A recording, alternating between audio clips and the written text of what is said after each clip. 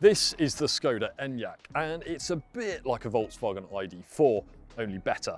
In this video, I'm going to be telling you exactly why that is, and I'll also be running you through some of the really cool features on this car, including this, this, this, this, and this.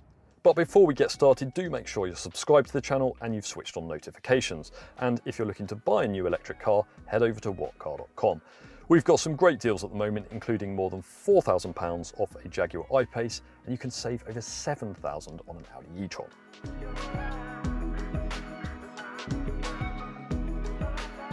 Now, although the Enyaq is Skoda's first dedicated fully electric production car, the Czech brand does have a history of dabbling in EVs.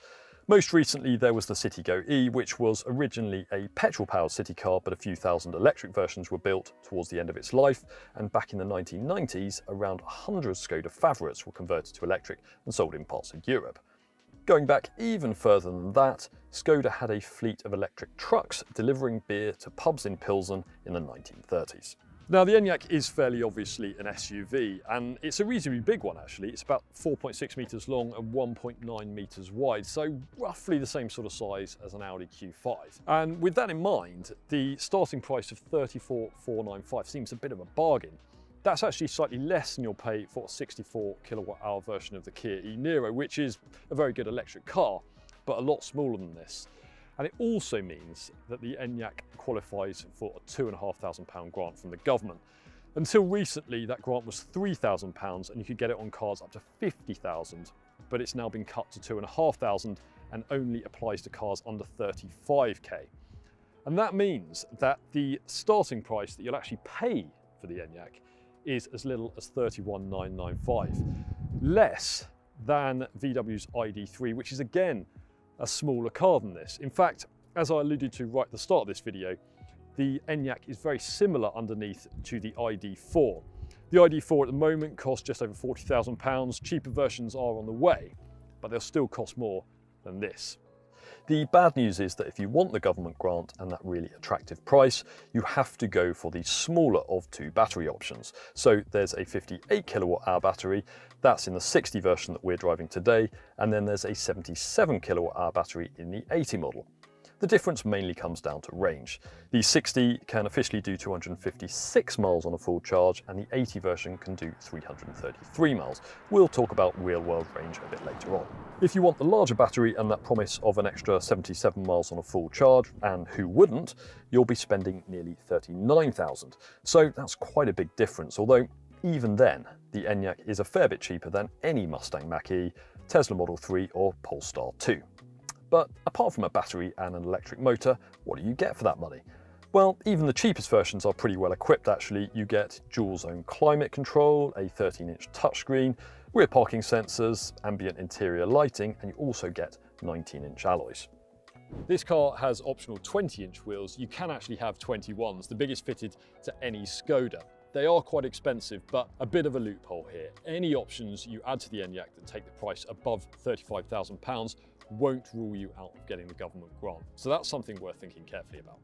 It isn't available in the UK until later in the year, but you will soon be able to have your Enyaq with a crystal face. It's essentially 130 LEDs arranged in vertical strips down here with a single bar going across the middle there, and I think it looks pretty cool.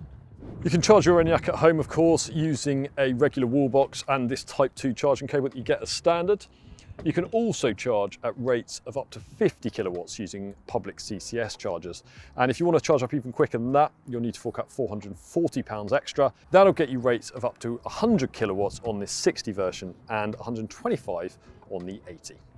You can choose from five different interior designs. We're in the cheapest loft version here, and that comes with this quite smart looking fabric on the dashboard and some more of it on the insides of the doors here as well the poshest trim levels, Suite and Eco Suite, they come with leather, some contrast stitching and some piano black detailing as well. The main difference there is that the cognac leather in the Eco Suite is sustainably sourced and rather than treated with chemicals, it's also been rubbed with olive leaf extract. So there you go.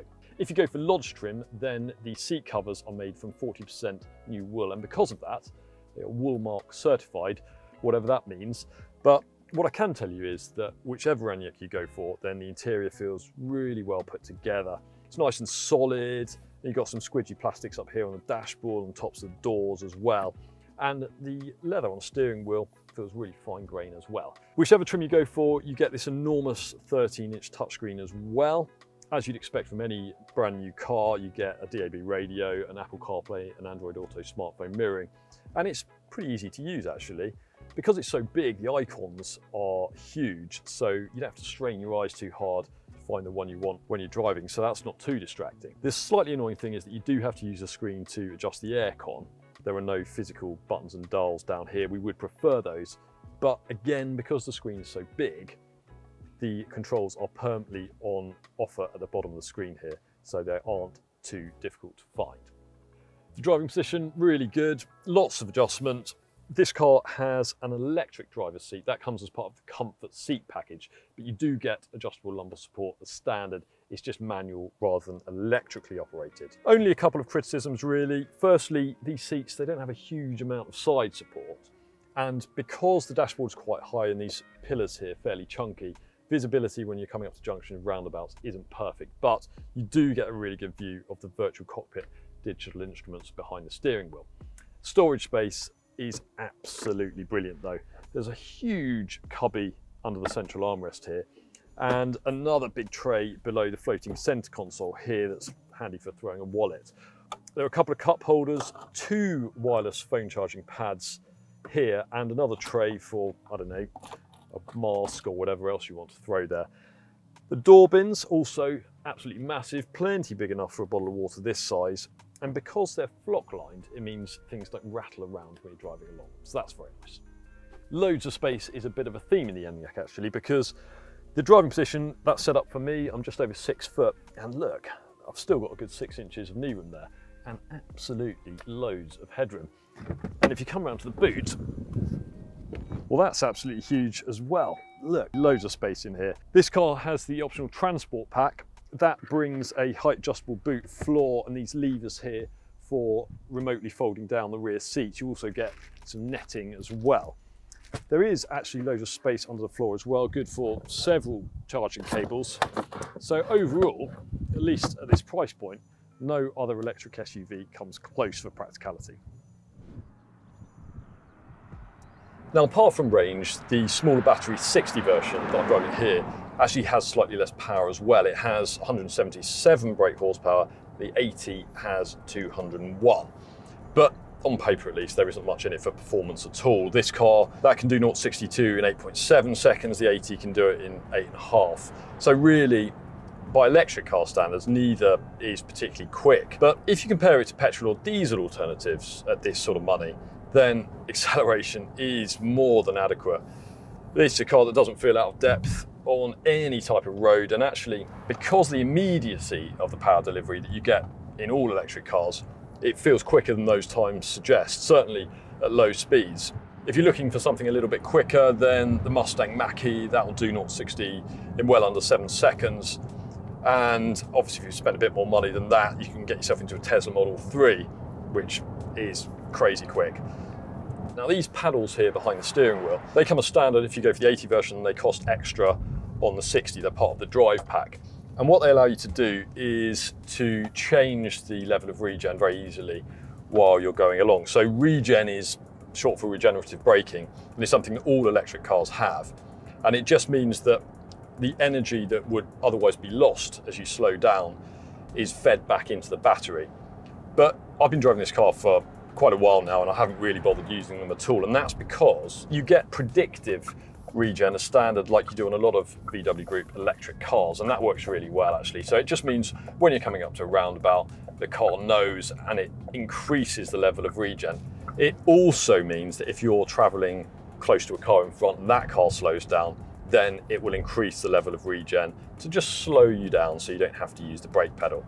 Now it's very quiet all electric cars, of course, have the advantage that they've got no combustion engine clattering away under the bonnet, but there's not much road noise. In fact, the only thing you really do hear is the suspension working away, particularly on quite bumpy roads. But overall, particularly on the motorway, this is a very quiet car. We'd say ride comfort is roughly on a par with the ID4. Both cars very similar underneath as I mentioned a bit earlier as well, and certainly far, far better than in a Mustang Mach-E. That car has a pretty poorly controlled ride, to be brutally honest with you. In other respects, the Enyaq is very easy and relaxing to drive. It isn't a car that encourages you to go quickly, and if you try to, it won't reward you very much, but that isn't to say it feels like a boat through the corners. As long as you aren't being overzealous, it stays fairly upright, and it's also easy to manoeuvre at low speeds thanks to a really tight turning circle. On a test route of around 17 miles, which included a mix of motorway, country road and town driving, our Enyaq claimed to be averaging 3.2 miles per kilowatt hour. Based on that, the real world range should be around 185 miles, although it was pretty cold on the day of our test, with temperature hovering around 5 degrees. Expect to get more than 200 miles quite easily in the summer months. But here are five more things you might want to know about the Skoda Enyaq. The Enyaq is named after an Irish singer. Well, sort of anyway. It's derived from the name Enya, which means source of life. The Q, well that's just tacked on the end so there's a connection with Skoda's other SUVs, the Kamiq, Karoq and Kodiaq. The Enyaq is available with a host of features Skoda calls simply clever. These include an ice scraper in the boot lid, an umbrella in the front passenger door, storage for the tonneau cover under the boot floor, a sleep package with extra soft rear headrests, and even a cleaning tool for the charging cable. There's a mobile app for the Enyaq that lets you remotely check how much charge is in the battery, set when you'd like charging to start and end, and also precondition the interior so it's nice and warm before you get inside. The optional heat pump can warm the battery to improve range in cooler conditions. Skoda claims you can get up to 30% further in temperatures as low as minus 25. It is quite pricey though, it costs just over a thousand pounds. If you like the sound of the Enyaq but want something a little faster, you'll be pleased to know a hot VRS version is on the way. It'll be four-wheel drive with a second motor driving the front wheels, and it will be able to do 0 60 in around about six seconds. We think the Enyaq is something of a bargain, especially the smaller battery 60 version when you factor in the government grant.